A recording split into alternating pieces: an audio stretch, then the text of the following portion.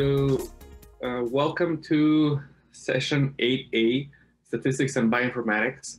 Today we have a couple of, uh, uh, of great speakers today. Um, and this session is sponsored by uh, Roche. Um, um, so to get our session started, um, so here we can see the different um, talks we'll have. We'll have a talk about um, MAL Evolve R, another one about applying R to dosing web application, um, a third one about visualizing uh, highly multiplex imaging data, um, and then uh, uh, we'll have a sponsor talk on analyzing clinical trial data using R. Um, so our first speaker today is um, Janani Ravi, who is currently an assistant professor at the Department of Pathobiology and Diagnostic Investigation at Michigan State University. She completed her PhD in computational biology at Virginia Tech and her postdoctoral research at the Public Health Research Institute at Rutgers Biomedical and Health Services. Her research group at MSU works on developing computational approaches to study the molecular basis of pathogenesis and intervention of infectious diseases using protein sequence structure function, relationships, comparative genomics, and drug repurposing. Um, Janani is also actively engaged in training, education, and outreach, focusing on increasing the participation of underrepresented minorities in data science and R programming. She's the founder of R Ladies East Lansing and co-founder of Women Plus Data Science, uh, which engage over a thousand members. So uh, with that, um, uh, we can start with Janani's presentation. Hello, everyone. I'm excited to be here today and present our ongoing work at useR 2021. Special thanks to the program committee for this wonderful opportunity. It's my first research talk at an international R conference, and I'm thrilled to be here. I'm still learning to make content like this as accessible as possible. Please email me at janani at msu.edu in case I can do anything better on this front. Today, I'm going to talk to you about an R Shiny web app that we are actively developing to characterize proteins across the tree of life using a computational evolutionary framework that we developed. We would love to receive your feedback during our live Q&A and on the lounge. In my research group at MSU, we work on both the pathogen biology itself and the host responses to pathogens. We develop computational methods to compare genes, proteins, and entire genomes of pathogens so that we can learn about mechanisms underlying infectious diseases. We have a few favorite pathogens and zoonotic infectious diseases that we have been working on recently. We are also developing methods to figure out ways in which we can repurpose existing FDA approved drugs to help us humans fight infectious diseases better. So this uh, current slide has a few animations and with every click, I have some text written up. Okay, so we are very interested in our group to understand several aspects of what makes each pathogen tick through the lens of computational evolutionary biology. Most of us working on pathogens are interested in fundamental questions such as pathogenicity, host specificity, environmental versus pathogenic adaptation, and the evolution of antibiotic resistance in recent years. If not fundamental biology, we are always thinking of ways to squash the bug. Most of these fundamental and translational questions can be addressed, at least in great part, by studying the conservation versus unique molecular features and specificity versus sensitivity. We build streamlined workflows for molecular, molecular evolution and phylogeny at the protein level and comparative pathogenomics and pangenomics at the genomic and gene levels. And today, I will focus on the former. I first started working on using the molecular evolution approach to study a pan-bacterial stress response system during my postdoc with Marla Gennaro at Rutgers and our collaborators at NIH Aravind and Vivek. Since then, the approach has been generalized and now tested by us and others to better understand the nature and evolution of proteins and protein families. This generalized approach that I will be showing you were built by my undergrads, Sam, Lauren, and Joe. We have now streamlined this approach to build a user-friendly R Shiny web application for biologists and an R package for computational biologists. Now I'm at slide five. I want to begin by describing the problem that motivated me to develop this entire approach. The phage shock protein response system, or PSP system in short, is critical for bacterial envelopes cell surface stress response, and membrane stability and integrity. While the stress response function is highly conserved across phyla, there is tremendous diversity in the sequence and structure of the accessory proteins, the regulatory mechanisms, and the membrane stress response dynamics across phyla. In this cartoon here, which is actually really colorful and seems like it has a lot of moving parts, but the only thing that is important is that the namesake protein that is in black is the one that is conserved across lineages, while the other colorful partner proteins are not. We soon realized that the identity of these different stress response players, their protein architectures and phyletic spreads remain to be characterized in depth across the tree of life. So I decided to embark on a comprehensive computational evolutionary analysis to figure out this PSP system across the tree of life. Over the next few slides, I will explain at a high level what this evolutionary analysis entails. We start by identifying homologs or similar proteins of all PSP members across the tree of life, which is what I'm showing here. So we do this in a few different ways. We use multiple starting points and collate our results. We use iterative searches as well, so that we pick up all of the remote homologs. And finally, in addition to full protein searches, we also do domain-centric searches. And I'll tell you in a bit what these domains are. Next, for each and every one of these thousands of homologs, we reconstruct the domain architectures by characterizing the proteins. And we do this using sequence alignment and clustering algorithms to identify uh, homologous groups and construct protein families. We do profile matching using domain and homology and orthology, sorry, orthology databases. And finally, we also use prediction algorithms to identify key motifs like signal peptides, transmembrane regions, or cellular localization. In the special case of bacterial proteins, we perform additional analyses to ascertain function. In, since genomic context largely dictates bacterial protein function, we next scan the genomic neighborhoods to identify these putative co-transcribed uh, genes that are co-localized within the genome of bacteria.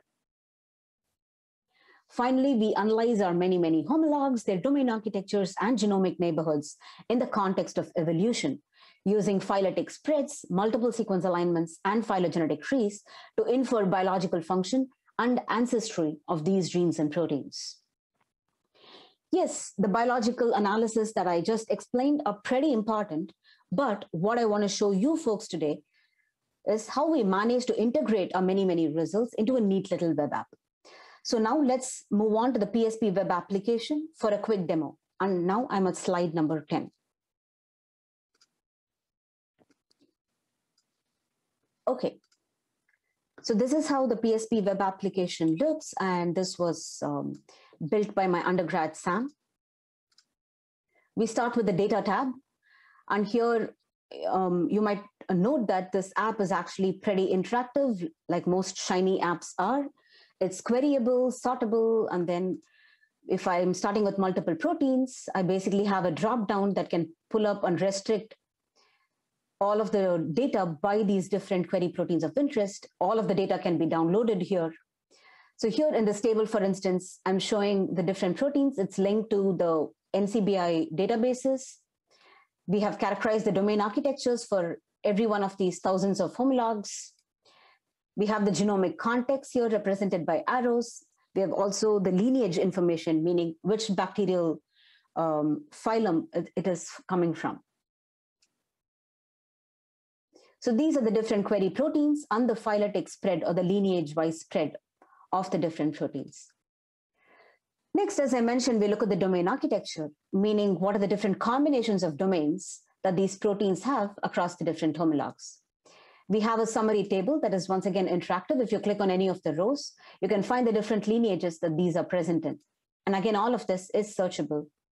And we also have a slider depending on, for instance, if you say, I'm only interested in the top 95% of the data, we see that the more, there is very little variety. There is only PSPA without any of the fusions. And again, we can do this for every one of our other proteins too. Next, we construct something called upset plots using an UpSetR package, which is pretty cool. It's a very nice way over the traditional Venn diagrams to look at intersecting sets. And here we have different domains and the combinations in which these are coming together. And finally, we have an interact interactive domain proximity network of not just the domain of interest, in this case, ToastTrack from the dropdown. We can also go to all to actually capture something that's really cool, which is the entire PSP network. So we discovered a lot of novel components here using these detailed approaches.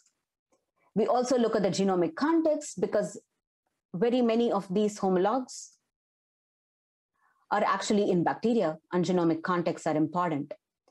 Rest of the tabs, it's please feel free to explore later on.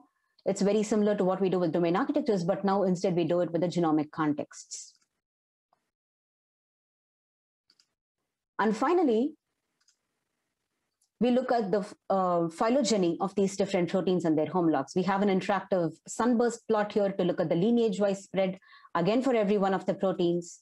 We construct a colorful phylogenetic tree, and each of the colors here in this PDF um, are represented um, by the lineage. We also have the multiple sequence alignments in case you're interested in exploring these different homologs further. We also have a paralog table, with paralogs are basically having multiple proteins, multiple copies of similar proteins within the same genome, and we can also explore them further to study their evolution. Okay, and with that, I'm going back to the app, and I'm now at slide number 11. We have combined comparative genomics and detailed sequence structure function analysis to systematically identify sequence homologs, phylogenetic patterns, domain architectures, genomic neighborhoods, and trace the evolutionary patterns of the PSP proteins across the tree of life. We have succeeded in identifying that these protein systems date all the way back to LUCA, which is the last universal common ancestor. We have discovered the larger stress response network. We've also identified several novel partners and key players in the PSP system and linked all of their roles to the biology and what it means for membrane stability of these bacteria, archaea, and eukaryotes. So this PSP web app was just one instance that helped us collate all of our results. The problem was we had actually too many results and we didn't know what's the best way to look at them. And it was very difficult to parse through, which is when the first uh, version of this PSP web app was born. But eventually, we kept adding lots and lots of features so that we can search through these res results, create multiple visualizations on the go, subset the different results, and then also change the aesthetics as we go along because we found that to be very useful to explore the results. But what is most important is that it helped us identify a few practical challenges a lot of these current tools can only leverage subsets of data to hint at these different facets of bacterial proteins and genomes. Independent tools for protein sequence similarity searches and all of these analysis exist, but there are no unified frameworks and tools to perform all of these. So in short, what we are looking at is these data sources reside in several siloed servers and databases. Tools are designed, are not designed to really talk to each other. And even if a scientist manages to do the uh, address these above challenges, they still need to know how to manage a server, run these computationally heavy tasks. And finally, there is also the issue of streamlining and managing the data analysis and visualization. This brought us to developing a general computational evolutionary approach that can now be applied to any gene or protein of interest and for any genomes or pathogens of interest. And for this, we have developed a web application, again using R and Shiny for the first uh, version for biologists and an R package, a companion R package that we're developing for computational biologists. And we have a few favorite pathogens that we have tested our approach on.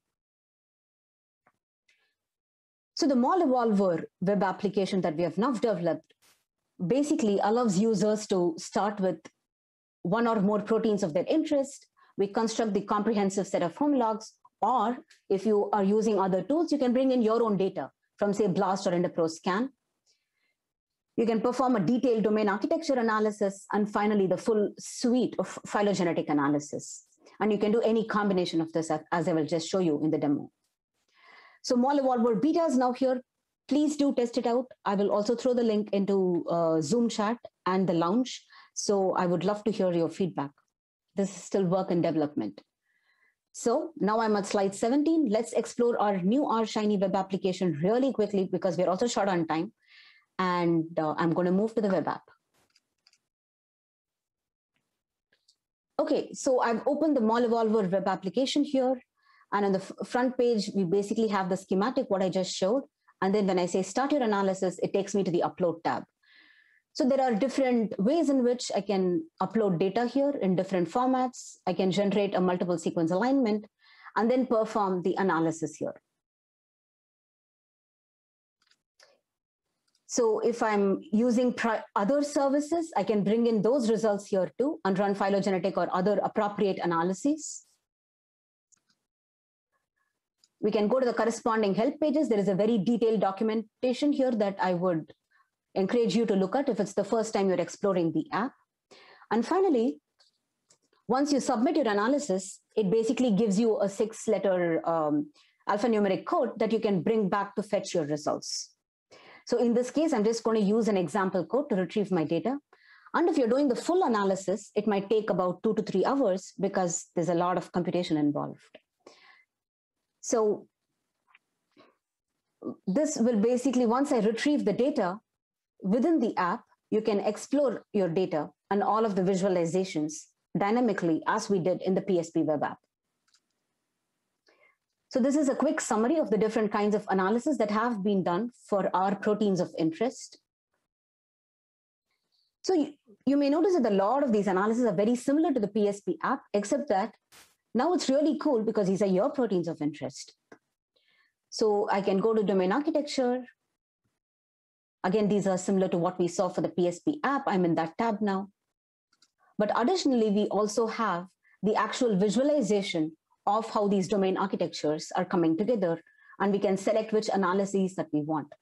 Again, all of this is dynamic. I can select which protein that I run it on. I can change all of these. I can explore the entire data here as before. There are a lot of additional columns if you want to add them. You have your input fastase sequence. And finally, we also have the phylogenetic analysis and the tree.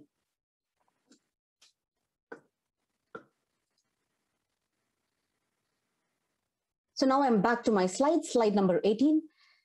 We've already been able to successfully study a number of infections and molecular systems, and there is so much more exciting work to be done here. For those of you interested in exploring our web app and upcoming R package, please do get in touch. Here are the key people who made the web apps and the current R package in dev possible. And here's my full group. Believe it or not, they're all undergrads. And I'm really lucky to be working with them. And we have worked on a lot of these cool applications thanks to these wonderful collaborators at MSU and other institutes. Needless to say, I love all things R, and I'm um, very nicely integrated with this beautiful R and data science community with R Ladies, Women Plus Data Science, rOpenSci, and Bioconductor. And it's wonderful uh, working with all of you, and more recently with the useR program committee. Finally, I want to thank our funding sources. And with that, I would like to thank all of you for your attention. I will be happy to take any questions either during the live Q&A or at the lounge. And also please feel free to share any written feedback via the URL, feedback URL provided here. Thank you so much. Just as a reminder, uh, we have the Q&A where you can uh, post questions and uh, we have 10 minutes at, at the end of the session where um, speakers can also answer any questions because we're a little bit um, running a little bit behind on time, we're gonna uh, go uh, with the next presentation, um, which is from um, uh, Gergely um, from RX Art Studio. Uh, and he's going to be sharing their experiences of using R in a precision dosing web application. Good morning, good afternoon, or good evening, everyone. My name is Gergely Daróczi, and this talk will be about how we have built a precision dosing web application heavily using R. Uh, first of all, it's a great pleasure to be virtually here. useR is my favorite conference, not only because uh, I met uh, my co-founder for this project at useR 2014 in LA, but also I had the chance to present on different topics. And meanwhile, in the past years, I had uh, the chance to meet many other uh, R users and developers, uh, which just changed many things in my life. Anyway, this would not have been possible without a supporting uh, full-time job uh, where I was not only allowed or even more encouraged to work on open source packages related to reporting, API integrations, and using R in production, uh, but also to organize and run local R meetups and conferences, also continue teaching uh, heavily related to the R language, and also to work on some side projects, for example, RX Studio more recently. So heads up, this is about RX Studio and not R Studio. Mind uh, the extra X, sorry for the confusion. Uh, what we do is personalized medicine or PKPD modeling or model-informed uh, precision dosing uh, as a web application and platform, uh, which means that we are also integrated in some EHR systems. So to give you a better understanding on what we do, I prepared a quick demo of how you can run this application. Here you can see a dashboard of your past uh, PKPD model simulations, let me run uh, the probability of target attainment plot for cefepime as a quick example. So you need to provide some patient information and fill in some other forms, which forms are defined in R and all the validation rules are passed from R and then the results are being evaluated in R. Let me just quickly jump to the results. So this is an interactive ggplot2 based uh, SVG that we show here, but uh, let me switch to the actual application where I can show you some more complex examples. So this is Bayesian adaptive dosing for vancomycin. So little more details need to be provided here, like if you would like to estimate the probability of nephrotoxicity. And we also need historical records. So here, these are some PHI data that needs to be stored in a special way later on. I will mention those. To keep it short, you need to provide pause doses and some lab results so that we can fit uh, PK parameters of the patient. Uh, I just jumped to the results uh, to keep it short. Here you can see the recommended dose for this patient and the all the previous results and future estimations are provided on this single SVG where we start with a historical dose. You can see the measured uh, blood concentrations that we use to fit the patient's PK parameters. And uh, based on that, we suggested these doses to be taken every eight hours. And after reaching the steady state, you can also see how the uh, blood concentration might look like in the future for this patient compared to the population model that you can also see in the background. Let me scroll down. You can see some further plots, for example, the previously mentioned probability of nephrotoxicity or the simulated PK parameters for the patient and how it compares to the population.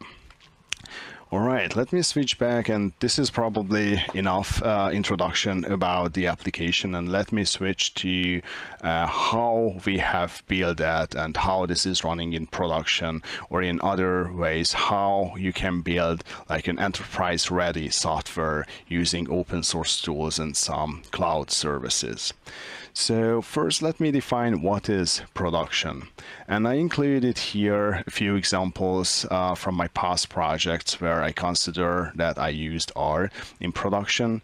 Uh, to keep it short, I think the important thing is that you are writing R scripts to be run outside of your IDE. So not ad hoc analysis, but some automated tools, for example, and integrated in an application or used for stream processing or um, training models in batch processes and later on using uh, in APIs for live scoring.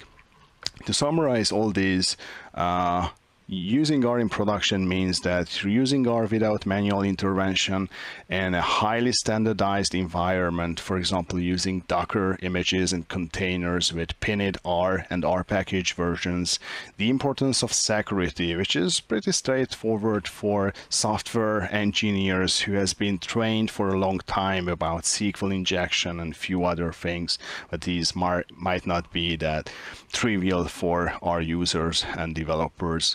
And also, uh, one of my favorite topic is um, making sure that you are logging every single details that might be important later on, maybe for auditing or debugging purposes. And for this end, it's not enough to use print statements, writing some text to the console, but using a proper logging framework that might uh, deliver the log records to a central place with real-time alerts and notifications.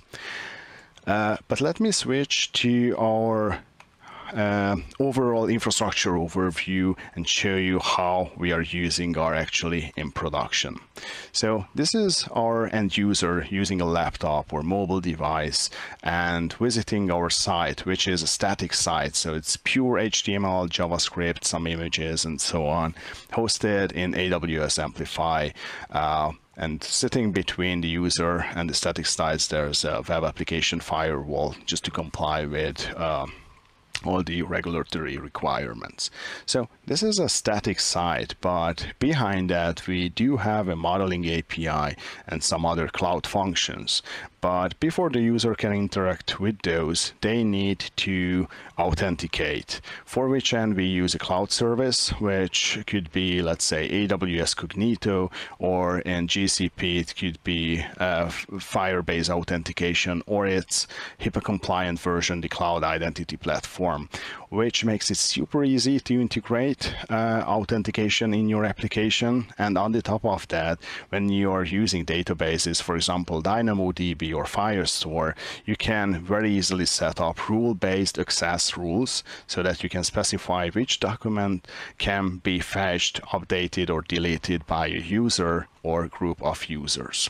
Similarly, for the cloud functions, we are also uh, prescribing who has access to run those and we could use AWS Lambda or Google Cloud Functions uh, what I would like to mention here is how we store secrets. Fortunately, both cloud providers have uh, a secrets manager, which makes it super easy to access credentials based on roles instead of having access to hard-coded credentials. Let me switch to the modeling API, which is probably more important to this audience.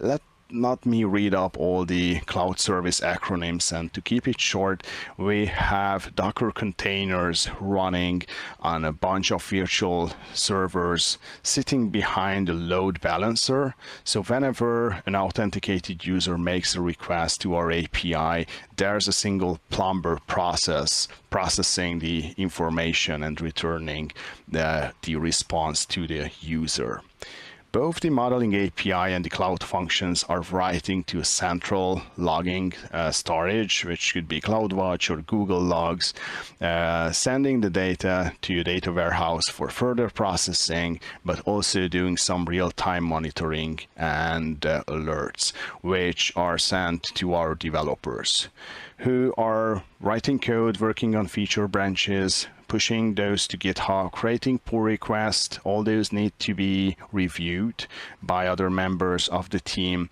And besides that, unit tests, integration tests, and end-to-end tests need to pass as well. And once a pull request is merged to the main branch, then there's an automated process rebuilding the production Docker image and doing the deployment, in this case, using Amazon Elastic Container Service.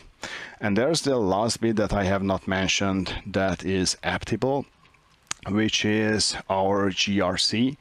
Uh, and let me switch to our next topic, which made uh, the release of this application a little bit more complex compared to uh, my previous uh, R related projects.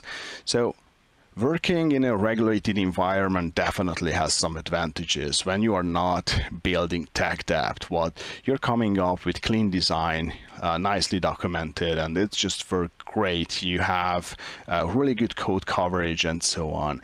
On the other hand, the monthly or quarterly reviews make it uh, somewhat cumbersome and uh, well, anyone who went through some audits, either in, you know in, in fintech or healthcare, knows that these are not that straightforward processes. Uh, fortunately, uh, R does have a history when it comes to using in a regulated environment. And if you look up the CRAN uh, page, even it comes with a guidance document on how to use R in a regulated clinical trials. Also, there has been commercial solutions, for example, Mango's ValidR. or more recently, I was very happy to see the R consortium project called R Validation Hub, which will help us uh, to uh, prove that uh, these open source tools can be used in the regulated environment. Still, at the end of the day, you have to do your own audit. So I included a list here, which might be useful for some of you who might consider writing a similar software.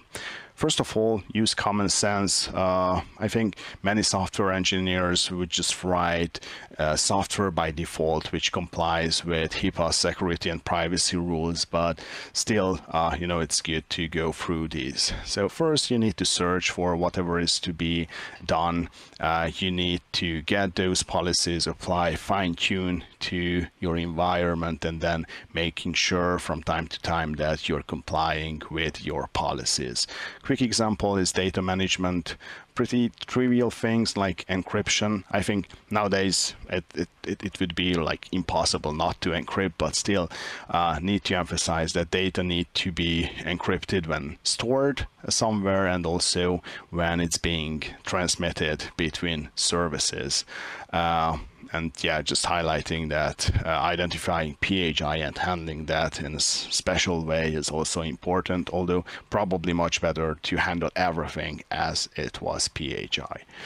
Uh, most important experience when it comes to vendor management is make sure that you onboard only those vendors that you really, really need. Otherwise, you will end up with some extra risks and time spent on the vendor doing like security assessment. Uh, if the vendor might have access to PHI, also the need to sign a BAA and so on. So if possible, get rid of all that trouble code review required for everything and all kind of automated unit tests as well. Next difficulty is internationalization, which is much more than just translating strings. For example, when it comes to different units of measurements in the States versus different countries, also date and time formats, and so on. Uh, to overcome that, we are heavy users of gettext, both on the front end and back end. And just to show you some interesting examples, even drug names need to be translated in some languages. Uh, for example, this is the Portuguese translation, or highly technical terms like AUC or MIC does have their own local version. So even the tiny bits of a ggplot uh, needs to be translated. I will not get into the details, but we plan to open source these helper functions from the RX Studio package. To keep it short, we store the translations basically as hash tables in environments, and um, doing the translation is, is a very quick lookup. Uh, reading the translation files, we provided a basic PO file uh, parser. I know there are some packages making uh, that uh, functionality, but this is coming without dependency, which helps a lot in a regulated environment. Uh, the most complex thing when it comes to the translation files was coming up with a helper which is extracting all the strings from the code sources that needs to be translated, uh, which means not only the R sources, but also documentation and, and few other things. But fortunately, we could build on some previous tools like xgettext to make that possible. Uh, high-level overview, as you can see here, we have almost 4,000 words for every single language that needs to be translated for the front end and the back end. So that's quite a lot and it's not that straightforward to make sure that everything is always properly translated. So for this end, we have some automation in the means of GitHub Actions, which are checking out a Docker image, building a test Docker image, and running uh, tests to make sure that all the strings are extracted from the package that needs to be translated and there's a translation for all the supported languages. Uh, to give you a few examples of the already open source source pieces of the infrastructure, one is Logger and Boto-R is another one among the others that you can find on mikata.dev. And uh, here you can see a quick example of using Logger and the importance of this framework is that it's separating the log formatter from the layout and the appender, which means that you can format your message with glue, paste or whatever string concatenation method you like, which is separate from the log layout. So you could store your log message as a JSON blob in a database, and you could log the very same message on your console printed as a single line. And this flexible framework will make it rather uh, easy for you. Just to give you some examples, this is a log record for a request, which is storing not only the IP and the user ID and a few other things of the user, but also about the environment, like the uh, Docker uh, container ID or the instance running the Docker container, but also uh, we are storing a similar uh, log message for the response where you can see how long the request took, what was the amount of memory required to run that simulation, uh, and everything is tracked by a request ID so that you can join the related records. Uh, I already spoiled this uh, animated GIF previously, so we already have thousands of commits, uh, although we just started like a year ago. Unfortunately, these commit messages are not that great when it comes to communicating with the end users, although really great for auditing. But for this end, we came up our own semantic versioning uh, of the models. For example, what you can see here that for Cefepime, for a given method and PKPD targets, we came up with a major release which changed the UI. Minor releases are not changing the UI but might return uh, slightly different results. For example, because we updated how we compute different things or model parameters changed and patch versions are just visual changes. This is how it's rendered to the end user in the application uh, how to run uh, actual models in the background. So as I mentioned previously, we are using Plumber, so heavily using filters to figure out what language uh, our end user needs uh, in this case so that we return ggplots in Portuguese, Spanish, English, and so on. Other than that, doing the authentication part as well. In this case, using the Firebase admin Python module with the fantastic Reticulate R package from RStudio, doing some logging right away, and then uh, how we are evaluating the simulations.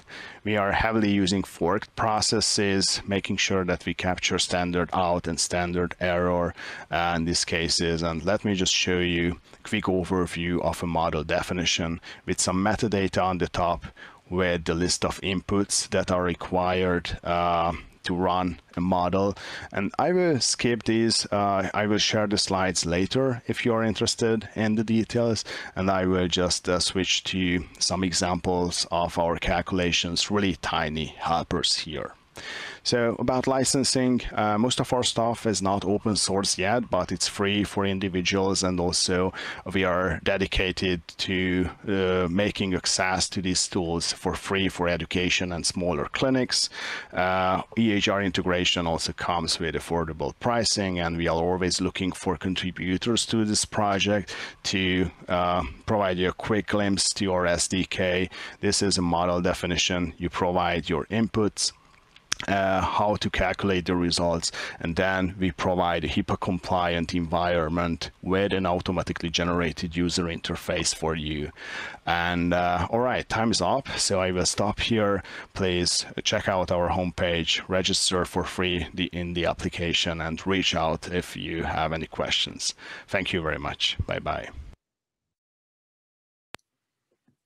all right uh, thank you very much Gergely. Um, just as a, as a reminder, uh, please feel free to ask your questions on the Q&A and we'll have 10 minutes at the end of the session for answering your questions. Um, we're gonna move on to the third presentation, which is by um, Nils Eling um, from the University of Zurich. He's gonna tell us about the CytoMapper package um, and how it can be used for visualizing highly multiplex imaging data. Um, thank you very much. Hi, everyone. So I'm really excited to present to you the CytoMapper package, an R bioconductor package to visualize highly multiplexed imaging data directly in R. So the CytoMapper package contains three broad functionalities. It visualizes pixel intensities as composites of up to six channels using the plot pixels function. It can also visualize cell-specific features on segmentation masks using the plot cells function. And it allows interactive gating of cells and the visualization of selected cells on images using the CytoMapper Shiny function. But today I will not talk about this last function. The package can be directly installed via Bioconductor using BioC Manager install for the release version or directly from GitHub, installing the development version using remotes install GitHub, and then Bodenmiller Group CytoMapper. So before I will show you the functionality, I will introduce you to the data structure. So CytoMapper uses a single cell experiment data container, a common class in the bioconductor framework, to store cell-specific metadata and intensity features. So you can see this in the uh, figure here on the right in A. Here, the single cell experiment contains cells in columns and then channels in rows. And in the colData slot, um, you can store more cell-specific metadata. CytoMapper also exports the CytoImageList data container, which is new, this stores image objects in form of a simple list container. And in A, you can see this, um, that we store segmentation mask in the Cyto-image list container. Um, so multiple segmentation masks depending on how many images you have. And here, a single cell is identified by a set of pixels with the same ID. In B, you can see a Cyto image list container that stores multiple multi-channel images. And CytoMapper can then generate composite images um, as here on the right. So visualization of cell-specific metadata is possible by linking CytoImageList and Cyto and single-cell experiment objects. In the function, you will see the image ID and cell ID that matches cells and images between the single cell experiment and the cytoimage list object. You will need to work with process data, and I will not talk about how image segmentation works, but you can have a look at the Bodenmiller Group IMC segmentation pipeline in the link below to see how um, you can segment cells on these images. Before visualizing the data, we can first read in some example data, which are also provided on, the GitHub repository in Bodenmiller Group CytoMapper demos. First, CytoMapper exports the load images function that you can use to read in multi-channel images and segmentation masks. First, we will read in multi-channel images. They are stored as TIFFs but CytoMapper also supports PNGs and JPEGs. So it directly formats these images into a Cyto image list, which now contains three images. Here you see the, the names of the images, and each image contains 38 channels. In the next step, we can read in segmentation masks, also as TIFF, here we need to set as is equals to true to read in 16-bit unsigned integer images correctly.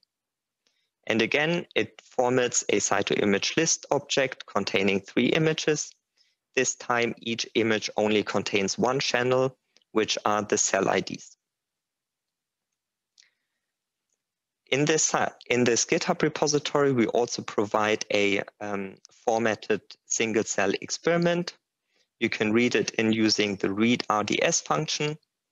And here you can see that among these three images, we detected around 6,000 individual cells, and we have measured 38 different channels. Cell-specific metadata are stored in call names, and channel-specific metadata are stored in um, row data. Before we can start visualizing the images, we need to slightly format the data. First, we will need to set the channel names of the multi-channel images using the getter and setter function channel names. Here, we know that the order of the channels are the same for the multi-channel images and the single cell experiment. So we can just transfer the row names. We will also need to set the element metadata of the images and the segmentation masks in form of a data frame, which only contains one entry, the image name. This will later be used to match segmentation masks and multi-channel images. A relatively new function of the CytoMapper package is measure objects, which computes morphological, so cell shape, size and location, and intensity features for every image and every cell. By default, the expression intensities are the mean intensity per channel and per cell. So to use the measure objects function, you need to supply the masks and the images. And here, mask and image matching is done by using the image ID parameter, which we will set to image name. This creates directly a single cell experiment with the same dimensions as the single cell experiment that I've shown you before. It stores mean intensity per cell and chin channel in the counts assay and create and stores the morphological features in colData. Now we come to visualization of the images. First, I will show you the plot pixels function, which takes at least the image parameter. This takes a cytoimage list object containing multi-channel images. By setting the color by parameter, you can specify which channels you want to visualize in form of a composite image. Here we select the channels proinsulin, CD4 and CD8. The biological meaning here is to visualize pancreatic islets and immune cells. So proinsulin you can see in yellow, CD4 in blue, and CD8 in red. For every, for every channel, you can specify a color gradient in form of a named list. And you can also adjust the background, the contrast, and the gamma level for every channel using the BCG parameter. This is now a named list that takes a um, numeric vector of length 3, there, where the first entry um, identifies specifies um, the background, which is added to the image, a factor um, with which the, the image is multiplied, um, and the exponent to increase the gamma level. The image title parameter defines the, um, the attributes of the image title. In this case, we only change the text of the image. Um, so it here, image title takes a named list, um, and I will show you later um, which other features you can change. Scale bar is also a named list to change different attributes of the scale bar. You can see it here on the right. We set the length to 100 pixels and generate a nicer label for the scale bar. In the next step, I will show you how to use the plot cells function to visualize segmented cells. And to show the full functionality of this function, I will subset the single cell experiment to only contain cells of a certain type. Here, these are beta, alpha, and delta cells, which are um, present in the pancreatic islet, and cytotoxic and helper T cells, which are immune cells. So the plot cells function takes at least the mask parameter, which um, you need to specify a cytoimage list object storing segmentation masks. You can also supply the object um, parameter, which takes a single cell experiment.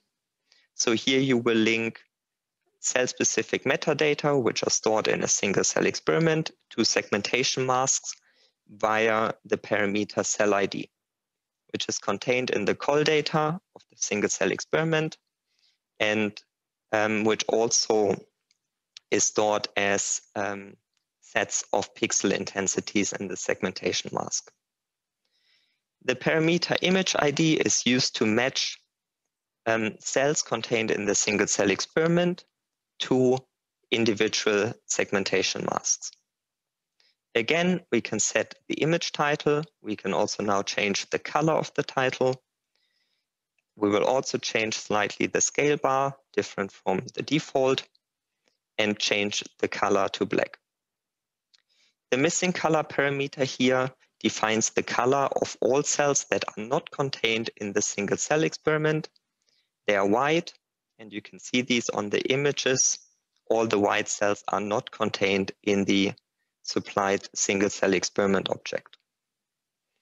Background color sets the color of the background, um, which can is now seen in gray here.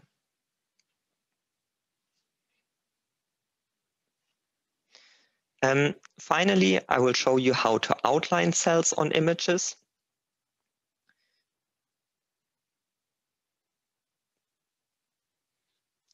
Um, so for this, we will use again the plot pixels function, which combines uh, multi-channel images, a single cell experiment object, and um, segmentation mask objects.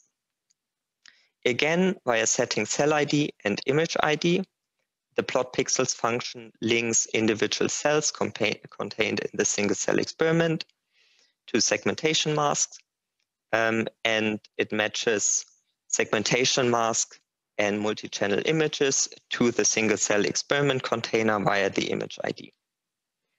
Again, you can specify which channels you want to visualize as a composite image here, you can also specify the color of the outline of the cells. When you look at the images, certain cells are outlined, and here the color of the outline is uh, dictated by the cell type. So you can see in green and red pancreatic islet cells, and in blue immune cells. Again, you can specify the, um, the gradient, the color gradient per channel um, the background contrast and gamma level per channel, set the image title and the scale bar. And here, the thick parameter defines if um, the outline should be drawn um, as thick or not. With this, I would like to thank uh, my co-authors, so Nicola, Tobias, and Bernd, who helped uh, with developing the package and with publishing it. Um, I also want to thank my funders, um, Marie Curie and EMBO Fellowships. Um, if you want to know more about the CytoMapper package, have a look at the publication and the GitHub repository for um, analyzing example data. You can also find more info in the main vignette called Visualization of Imaging Cytometry Data in R, um, and a newer vignette where you can find information on how to read in and store images directly on disk, disk instead of in memory. We've also been working on new packages, IMC datasets, which provides example um, multiplexed imaging data, which is publicly available, and imcRtools, which is under development, um, but it will contain analysis functions for uh, multiplexed imaging data. Finally, this is the session info. These are the main bioconductor packages used um, in the displayed analysis. And I'm looking forward to your questions. Okay, thank you very much, Nils. Um, there's a question on the Q&A about, is it on RStudio? I see that you're typing an answer, but if you could just say it because of for the recording, that'd be great. Ah, yeah. Um, I mean, it's installable from Bioconductor directly. Um, I guess this was the question about. Yeah. Um, I'll ask you another question too. Like, are you thinking of expanding Cytomapper for uh, spatial transcriptomics data? And in particular, um, we have some images that are like 20 gigabytes big. Um, yeah, I know. Um, so there are on-disk approaches now. Um, the issue is really, as long as you can read in a single image um, into memory, um, then you can also write it out again as kind of like a subsettable image. Um, but at the moment, it's really only supported for um, pixel data, which I think spatial transcriptomics is not really um, kind of supports this format. All right, thanks. Um, um, let's see. Uh, so let's move on to the to the last talk of the session, and then just as a just as a reminder again, please use please use the Q and A. We'll have ten minutes at the end of the session for more questions. So, our next and last talk is by Adrian um, Waddell, uh, who's going to tell us about um, analyzing clinical trials data using R for exploratory and regulatory analysis. Um, and um, Adrian works at Roche, um, who is the session sponsor. Thank you. Thank you very much for having me present here. Um, I'm going to talk today about how we use R to analyze clinical trial data, both for exploratory analysis and also for regulatory analysis. And where regulatory means it then gets sent at some point to the health authorities. And that in turn requires, as in the previous um, talk was mentioned, validation and predefined um, workflows and documented. So the talk will mainly focus on the dem demonstration I will give and and I will mainly quickly go through the interactive part and spend some time on the static output generation and then how that can be transformed into the static PDF that then will be used downstream by various stakeholders.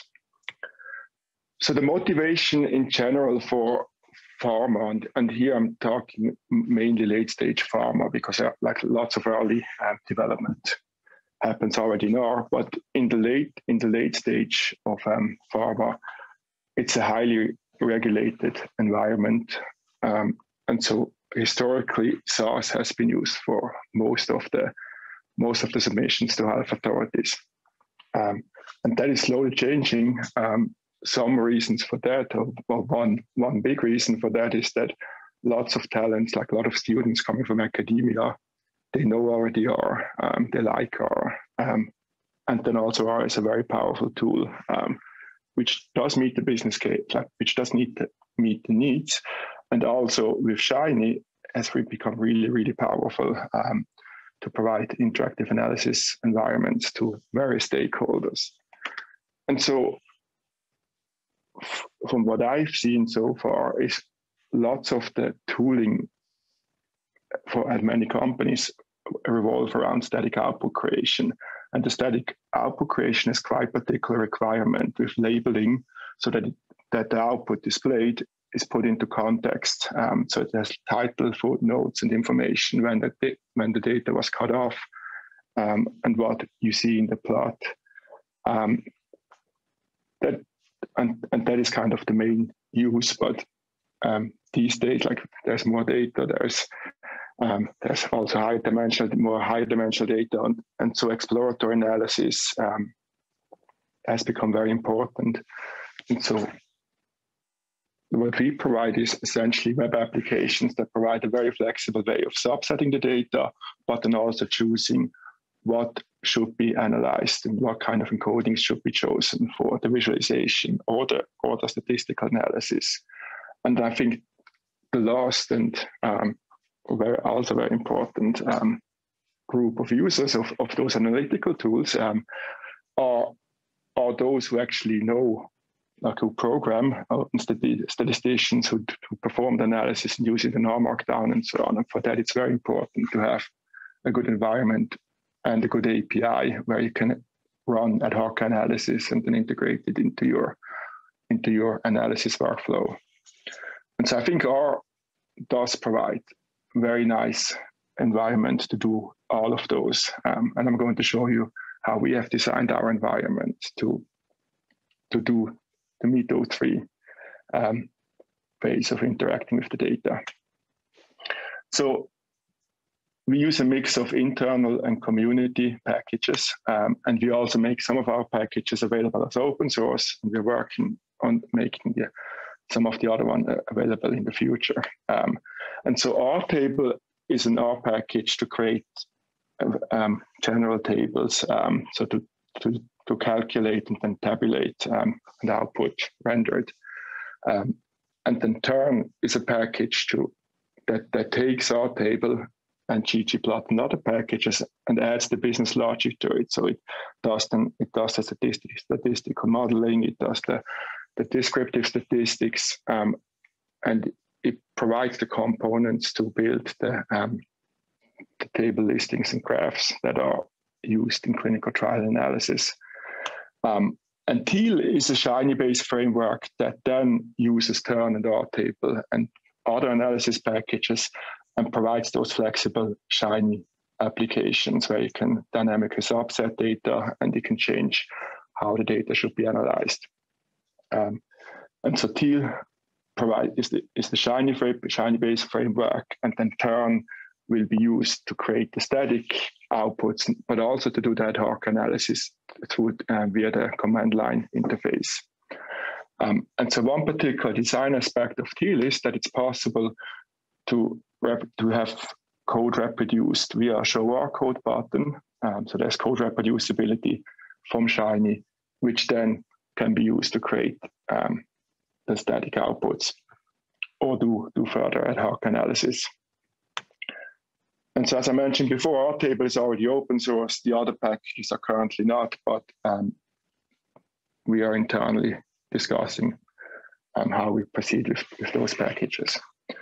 Um, and also mentioned, we do use um, many other packages. Like we, we don't write something if, we, if, if there's already community efforts that meet our business need.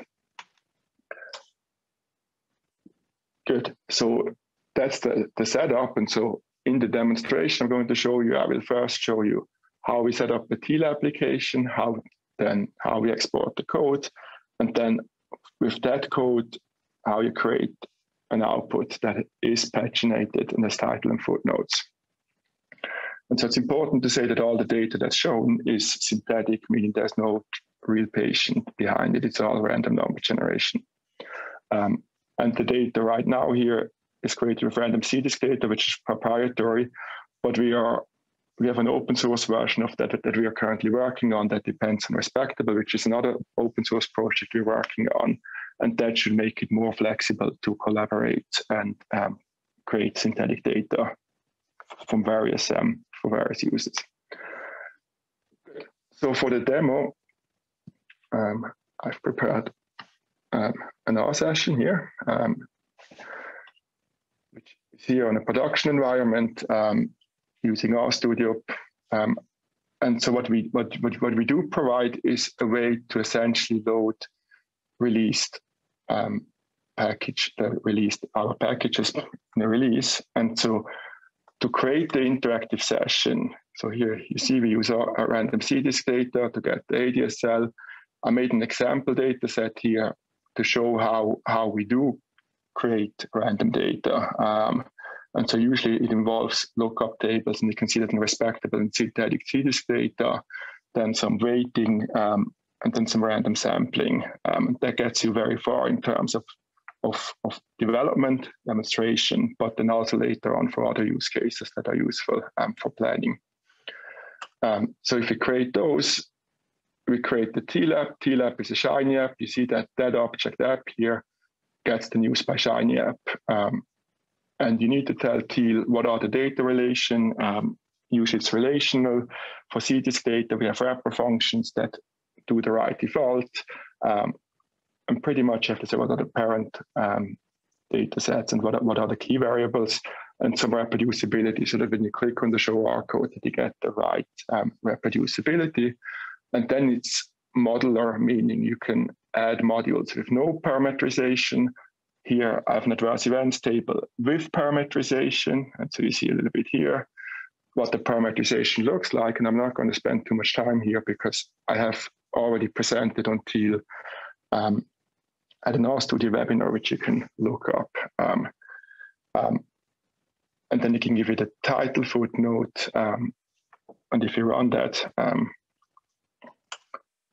um, excuse me. So something has just, um, that's maybe tested them multiple times before. Apologies. Good. So um,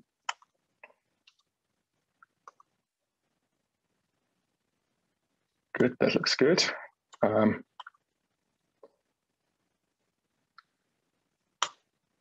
good. Um, apologies for the hiccup.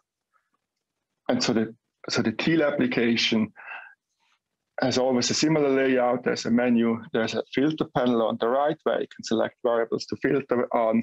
And then you have your modules, and the modules can be to look at raw data. So, for example, if you would like to look at the at the AE variables that we do analyze, um, you can add them. You can remove the, the, pieces you don't need.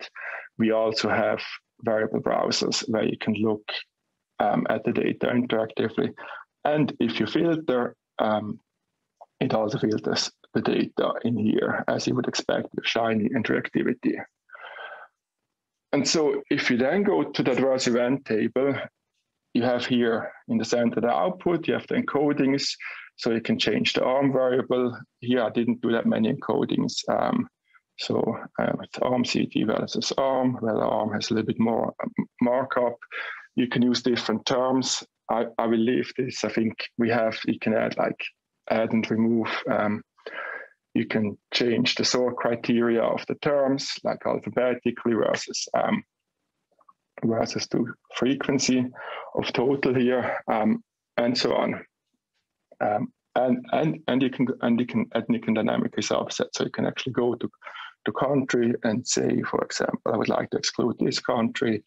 It updates you here what your data set are filtered, and it updates the output here. And so the important thing here to continue the story from exploratory to regulatory is that we have that show R code button, and that gives the exact code that actually created the, the output in the center. Um, and so if you click this, um, the show R code, it's going to take a while um, because we style it with the styler package, um, and you can copy that that code um, and if you focus on one of those, so for example, um, headache is 90. Um, here, um, you can then stop your, your Shiny app. You essentially can create a new script. You can copy paste this in. Um, and so if you delete everything and start from scratch, um,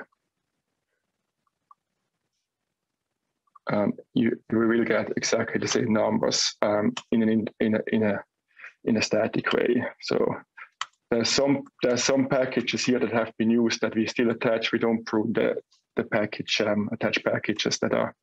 Um, but so here's the data generation. You see the lookup table. You see we create ADAE um, from the setup before, and then the, here's a subsetting. So you see age and, and country uh, country. So we do this, and then we can essentially create, here's a tab the tabulation, like the calculation, then we create the tables. And if you look at the table here, um, we would expect that headache is 90, 84.9, and what we've seen before, um, where here, um, 90, 84.9, um, it's the same number and so this is a great way for if, if a clinical scientist or any analyst sees an output that they need for um, production output, static production output, they can copy that, send it to the statistical programmer, and the statistical programmer in turn can create a production output, which I have here prepared um, in a little bit more readable way. So I, I removed some things, I'm reading it here.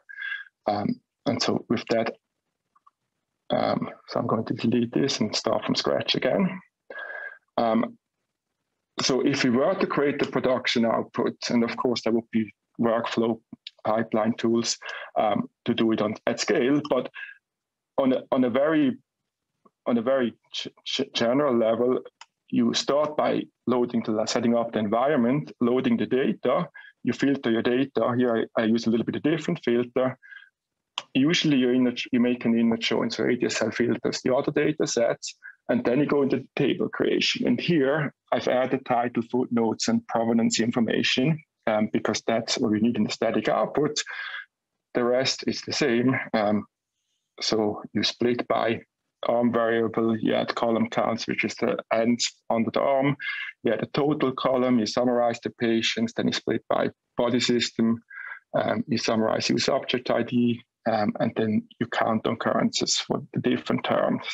Um, in this for this adverse event table. So um, I encourage you to read the vignettes on our table. It's a very flexible framework to essentially create any table, calculate it and display. And so if you build that, you get a table if there are zero counts with title and footnotes in ASCII here.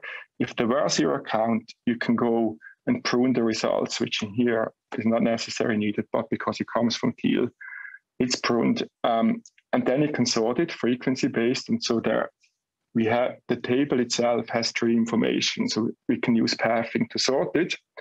Um, um, and so that gives us the final result that we now would like to put into a PDF. And so one part that's provided in, in our table, so that so the table being here, is that paginate function. And because the table itself is a tree, um, you can now make a fairly simple rule based on how many lines per page can you have, uh, per line per pages can you have, and and how many siblings in a leaf do, um, are the minimum. So meaning, for example, if if this is a leaf element, um, you cannot cut between those two elements. You want at least to show two um, terms um, next to each other from the same system organ class. Um, and if you do that, that's fairly it's not not such a big table so it's fairly fast it's a it's five different table what you see here um, which is always the that gives you the pagination um, but if you then want to make that in a publish publication ready um, pdf for example you need to match the column widths between the table which is here not that just takes every table independently that would match the column width meaning now if we make this bigger this column is nicely aligned with this. Um, and then the last step is this is going to be um, in grid low level here, but we, are going to make a render function in an export function in rtables with the next release. You can essentially say, I want to now write it as a text file into a PDF. And so if I go to the files tab here, um, and I do this, um, I got a table PDF and this would give us um, something that look that is commonly used for communication um, and reporting.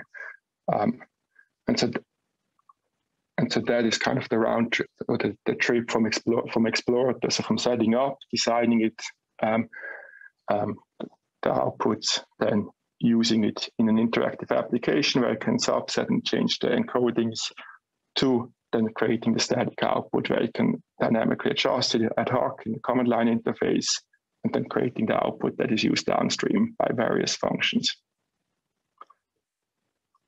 Good, thank you very much. And um, as I mentioned, rtables and synthetic CDISC are already open source. Um, please keep an eye open for the other tools that I've mentioned. All right, thank you thank you very much, Adrian. Um, you have a question on the Q&A from um, um, from S. Guerra Carlo. Uh, he says, here he says, what types of profiles do you have at Roche to be able to develop R packages? do you have R developers working on these packages? Yes. So, so I'm the technical, like the Nest. So I'm the technical lead a project that's called Nest, and we have around 20 developers, um, varying um, in yeah, varying by year, but it's 15 to 25 developers who work on those R packages. And then we have the statistical programmer who use those in the daily study work. And then there's a DevOps cycle where their feedback gets incorporated and then put on the backlog. We prioritize it. Um, um, and then it gets released in, at the moment bi-monthly. Um, but yeah, so we have our developers. We we do hire also for the analysts. We hire people with our um, skills to then perform the analysis. Okay, thanks. I'll ask you a question too. Um, so you showed us how you can, um, from the Shiny app, download the R code and then run it on your computer. Mm-hmm. Um, how, how do you deal with the different package versions um, and maybe even like operating systems? Right. Um, yes. So that's a good question. Um, so because we make so so we give we give essentially the package versions as a list um, because we have a production environment and um, and and released versions that we control, that that BU's nest contains the information um, for the future. And so you can you can also install them and most likely get the same pieces, uh, same information. But for the future, we, we do plan to provide R and Flutter log files when you click on the show, show R code. Um, and that together with the RStudio functionality of um, like RStudio package manager should be fairly um, good to to recreate it. And then, of course, in production for real analysis, you, you do have much more tightly controlled environment of the Docker environments where you store the Docker images. Um, so we have a question from um, Slack, um, uh, which is, may I ask how you're dealing with statistical disclosure control rounding cell suppression in R table. Can, can you repeat that? um, sure. It says, may I ask how you're dealing with statistical disclosure control? So in parentheses, rounding, cell suppression in our table. Yeah, so our table, so our table separates the um, separates the rendering from the actual data. So the R table itself has, has the complete information, no, no rounding, no no no um, no formatting applied to it, and then we have a and then we have a step to then apply the rounding rule. Um, and, and, there's vignettes and that, and I think there it can always do a lot. Um, there are some so for example, position-based rounding. So given the position of your input data round to a comma place, um, that, for example, is missing. And for that, we probably have to update the formatting abstraction, extend that language a little bit. But yeah, so you, you can essentially change the rounding to your needs um, once you have the table or when you define the table. I hope I hope that answers the question. All right. Yeah. Um, I mean, otherwise, there's also the talks underscore stats underscore bioinformatics channel on Slack. Um, um, and so um, um, Janani was like, yeah, if anyone um, has questions that um, you know beyond the Q and A, feel free to ask questions there for any of the speakers. So um, uh, I'm gonna ask. Um, uh, we're now in, in that 10 minute window at the end of the session. So um, if you have any questions for any of the speakers, please feel free to use the Q&A um, um, so, th so there is one question. Should I answer that, or should I wait for other questions? Uh, go ahead. And... So, how does Teal do code generation? Um, do you use Shiny Meta? Um, so, Shiny Meta came after, and you can read on the Shiny Meta webpage. I'm actually um, like I'm actually mentioned there. We did a we did a different approach to code generation. We talked to RStudio, and then the, I think that was part of the input to Shiny Meta. Um, at the moment, we have not switched because our way has not. It's not the most difficult problem at the uh, for, for, for, from our side. I think Shiny Meta is a great tool. It's more flexible than ours, um, but we have had other priorities.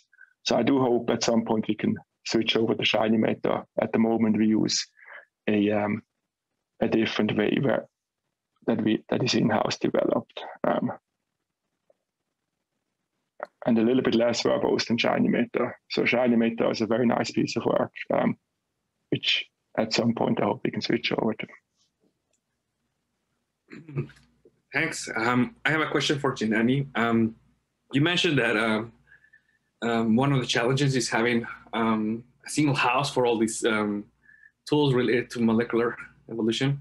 Um, so you showed us your Shiny app. Are you thinking of providing uh, like a software that people can download and it will install all the dependencies and they can run more analysis? Or um, um, is mostly like, or you're aiming for Shiny to be the the end solution? That's a great question, Leo. And in fact, um, that's the main part of the talk that got cut today. so please uh, uh, do check out the video link that I posted on Slack for the last five minutes. But anyway, so um, now we have developed a Shiny web application, the MolEvolvR, which is the title, where we allow people to run the full analysis on their proteins. The initial web app that I had shown is just a mock-up where we have data from this other stress response system we were looking at. But uh, right now, people can run this entire analysis on our new beta, alpha beta version of the Shiny app. We are also developing uh, a companion R package that can be downloaded and uh, I mean, you can use it within RStudio. So that is still in development. So, I mean, a lot of our code went into this Shiny app. So we thought, okay, we might as well make that available too.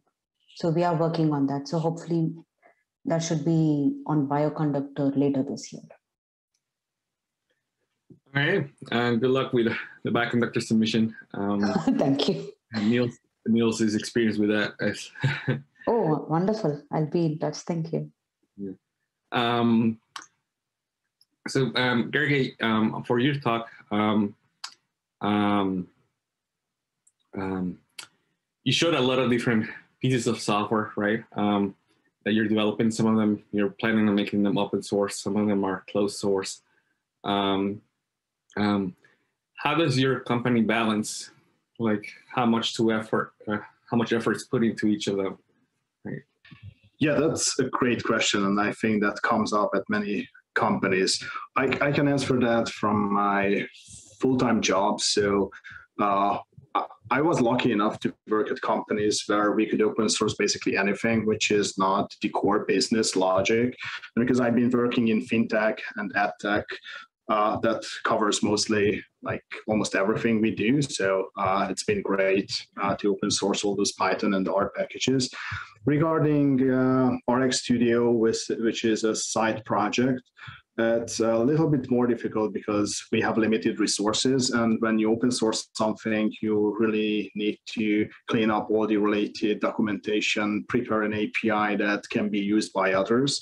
So uh, uh, to keep it short, we just need to find the time to clean up and separate nicely uh, from from our core package, and that should happen hopefully in the next couple of months. But uh, honestly, no guarantees. So just to answer your question, I think it needs some dedication and resources from the company to open source. Uh, yeah, hopefully that answers the question. Okay, thanks. Yeah, and it's always um, a tricky thing. Um, um, Nils, um, for Cytomapper, um, so um, like, have you were you asked to compare it with like MATLAB tools, for example, or why would someone that is a MATLAB user use Cytomapper, right? Um, I know MATLAB is expensive, but um, um, but yeah, I don't know if you have any thoughts on that comparison. Um, yeah, I mean, I'm I'm mainly just comparing this to tools that uh, the rest of the group is using, um, which is all kind of Python based um, or using some graphical user interfaces, also mainly cell profiler. Um, I mean, there is a strong overlap um, to other tools. I think here um, the main point was to integrate it in a framework that the, that the group is using for data analysis. Um, so this data container, an S4 class that kind of contains all the meta information that is needed. Um, and there was just a tool missing that directly visualizes this on, on images. Yeah, so in Python, you would probably use SquidPy or ScanPy um, for this. MATLAB, not sure. All right, thanks. We have a question on the Q&A um, from uh, Chia Sin Liu. Uh, for Janani and Nils, with increasing complexity of Shiny app, you test, um, do your tests incorporate reactivity testing in these apps? Can you talk a little bit about your experience with this?